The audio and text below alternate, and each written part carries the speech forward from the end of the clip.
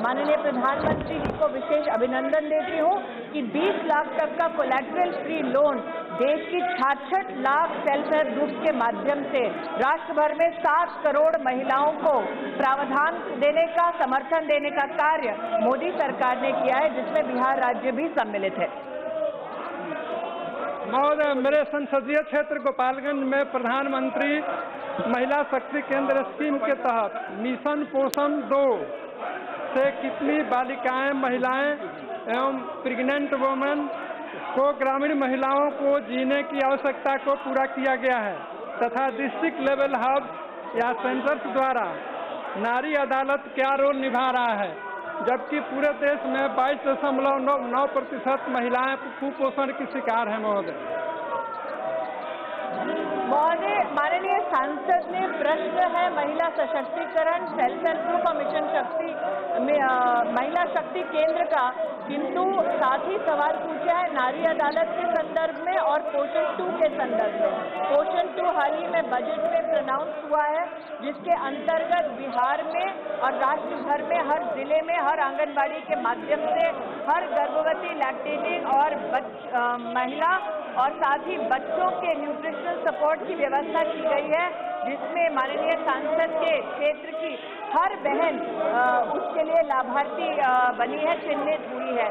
माननीय महोदय अजय जी आपके दिशा निर्देश के अनुसार दिशा की मीटिंग में विशेष सभी सांसदों से आग्रह किया गया है कि वो अपने क्षेत्र में पोषण अभियान के अंतर्गत किस प्रकार से कार्य कर रहे हैं, उसकी समीक्षा कर सकते हैं। अगर कोई चुनौती है और समाधान है तो उनको भारत सरकार की मदद की अथवा किसी और सहयोग की ज़रूरत है, वो सहयोग देने के लिए हम सब समर्पित हैं। और जहाँ तक कि महोदय, सांसद महोदय ने पूछा है, विषय नारी अदालत का, वो भी मिशन शक्ति का ही एक अभिन्न अंग बनेगा। मुझे कहते हुए खुशी है कि हमारे law and justice minister Kiren Rijiju ji ने भी अपना समर्थन इस विषय को दिया है। श्रीमती नवनीत राणा।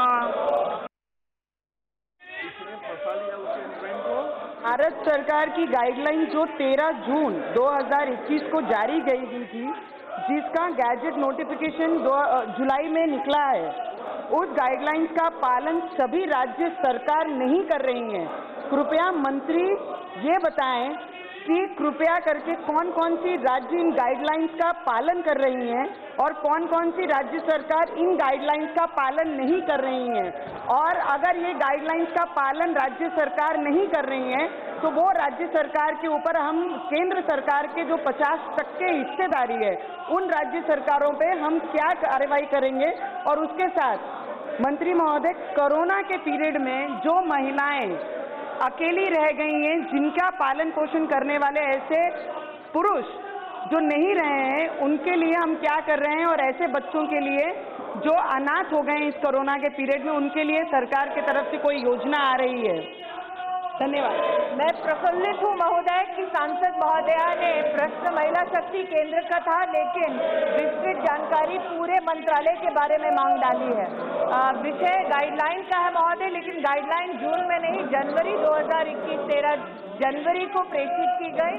हमने इन गाइडलाइंस के अंतर्गत सभी राज्य सरकारों को पोषण के संदर्भ में और आईसीडीएस और आंगनबाड़ी के संदर्भ में आग्रह किया कि आप जीएफआर रूल्स और विजिलेंस रूल्स और गाइडलाइंस के अंतर्गत पौष्टिक आहार का वितरण करें, जिसमें टेक्नोलॉजी का इस्तेमाल हो स्टैंडर्ड्स का इस्तेमाल हो एफएसएसआई के लैब से हमारे खाने की टेस्टिंग हो और एक सुदृढ़ व्यवस्था राज्यों को बनाने का हमने आदेश केंद्र सरकार की ओर से जारी किया है। राज्य सरकारों के साथ सतत हम इस चर्चा में रहे हैं कि किस प्रकार से वो अपने डिस्ट्रिक्ट में न्यूट्रिशनल कमेटी बनाए और उसके अंतर्गत काम करें। अड़ी सोमवार से शुक्रवार शाम छह बजे, सिर्फ़ टीवी नाइन भारतवर्ष पर।